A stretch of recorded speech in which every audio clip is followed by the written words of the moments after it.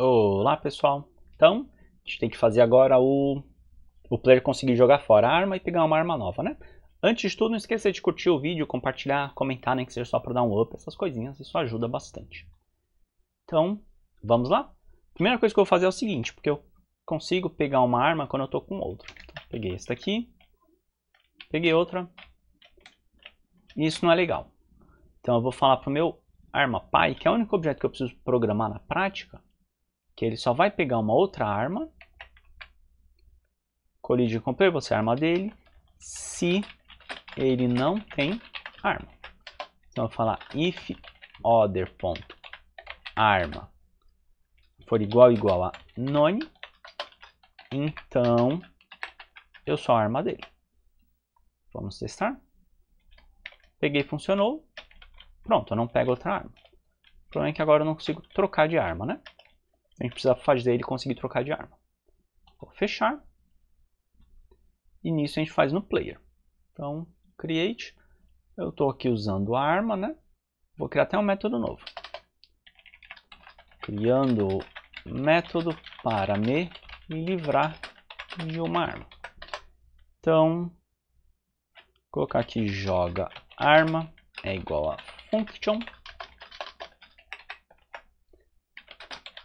if arma.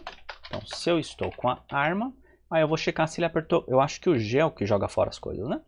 Então, eu vou colocar var underline joga é igual a keyboard underline check. Eu vou colocar o released, que eu quero só ativar se ele soltar o botão. Ord G. Então, se a pessoa apertou sem querer, ele pode ainda dar uma enrolada. Então, eu vou falar if joga. Aí eu vou falar que a minha arma ponto speed é igual a 1. E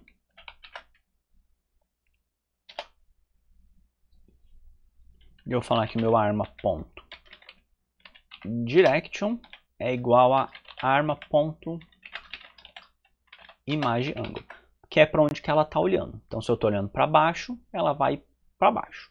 ok? Só isso, só um teste simples. Vamos ver se funciona? Colocar esse joga arma aqui no meu step mesmo. Joga arma. Esse meu código tem um problema. A gente já vai ver aqui o problema dele. Aí, esse meu código tem um probleminha. Vamos testar aqui. Apertei. Não funcionou.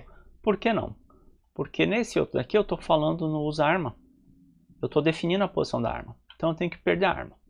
Então eu já vou falar aqui que arma ponto. Não, que a minha arma é igual a none. Então não tenho mais arma. Então eu dei uma velocidade, dei uma direção, perdi a arma.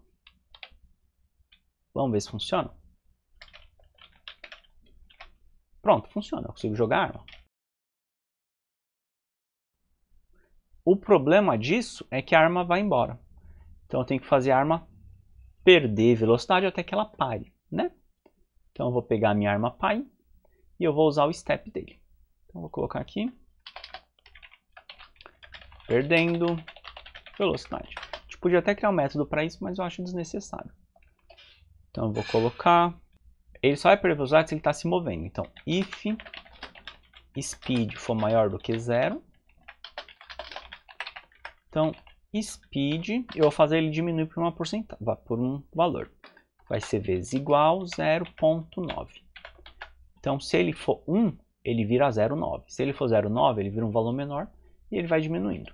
Aí eu vou falar if speed for menor do que ou igual a 0.1, então ele está bem lentinho, speed é igual a zero. Okay? Eu não sou obrigado a fazer isso se eu só tenho uma condição. Então o que eu falei aqui é que ele vai diminuir a velocidade e se a velocidade for muito baixa, ele iguala a zero. Vamos ver se funciona. Prontinho, acho que ele podia ir até um pouco mais longe, né? Então eu vou aumentar a velocidade que eu jogo ela. Então em vez de 1 eu vou colocar 3. Vamos ver até onde que ela vai.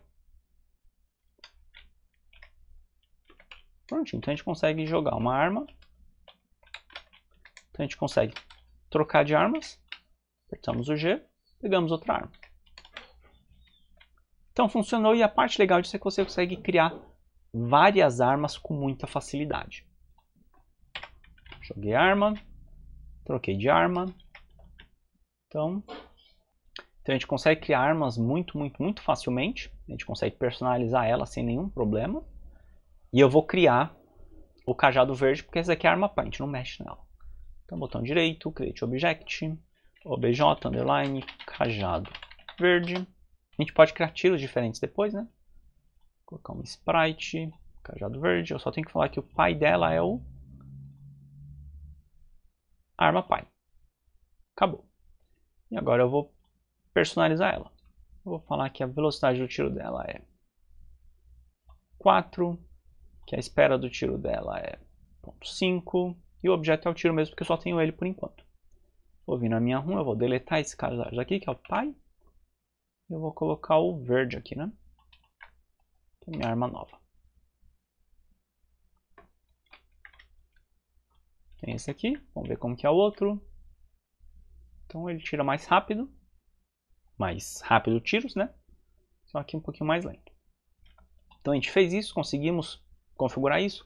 Acho que no próximo vídeo, no próximo aula, a gente pode fazer tiros diferentes para a gente conseguir personalizar o tiro e depois a gente começa a fazer os inimigos, né? Para poder dar uma praticada. Qualquer dúvida é só falar, não esqueçam de curtir e compartilhar. Qualquer sugestão do que colocar no vídeo também é só falar. É isso aí. Até mais, pessoal.